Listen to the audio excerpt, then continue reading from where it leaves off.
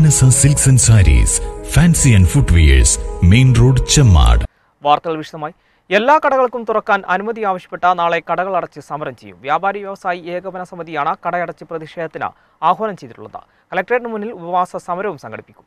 Lockdown നിയന്ത്രണങ്ങൾ ഒഴിവാക്കി എല്ലാ വ്യാപാര സ്ഥാപനങ്ങൾക്കും തുറന്നു പ്രവർത്തിക്കുവാനുള്ള അനുമതി നൽകണമെന്ന് ആവശ്യപ്പെട്ടാണ് ജൂലൈ ആറ് ചൊവ്വാഴ്ച കടയടപ്പ് സമരം നടത്തുന്നത്.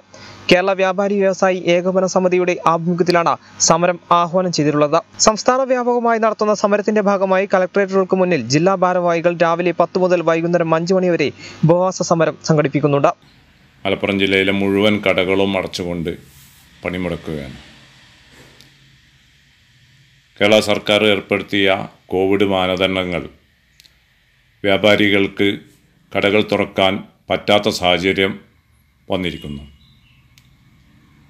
ടി പി ആറിന്റെ അടിസ്ഥാനത്തിൽ ഗ്രേഡ് തിരിച്ചുള്ള ഇത്തരം പ്രവർത്തനങ്ങൾ ഒരു കച്ചവടക്കാർക്കും തുറക്കാൻ പറ്റാത്ത അവസ്ഥ ഓരോ പ്രദേശങ്ങളിൽ വന്നതുകൊണ്ട് കൂടുതൽ കൂടുതൽ സ്ഥാപനങ്ങൾ അടഞ്ഞു വരുന്ന സാഹചര്യത്തിൽ ഇതിന് മാറ്റം വരുത്തണം എന്നാവശ്യപ്പെട്ടുകൊണ്ട് കേരളമൊട്ടാകമുള്ള വ്യാപാര സ്ഥാപനം അടച്ചുകൊണ്ട് ഇതേപോലെ ഓരോ സ്ഥലങ്ങളിലെയും ഗവൺമെന്റ് ഓഫീസുകൾക്ക് മുമ്പിൽ രാവിലെ മുതൽ വൈകുന്നേരം വരെ ഉപവാസ സമരം നടത്താൻ തീരുമാനിച്ചിരിക്കുന്നു.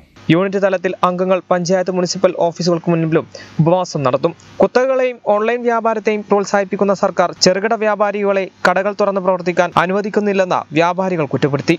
ലോക്ക്ഡൌൺ പിൻവലിച്ചിട്ടും കടുത്ത നിയന്ത്രണങ്ങൾ ഏർപ്പെടുത്തുന്ന സർക്കാർ നിയന്ത്രണത്തിനെതിരെയാണ് സമരമെന്ന് നേതാക്കൾ പറഞ്ഞു.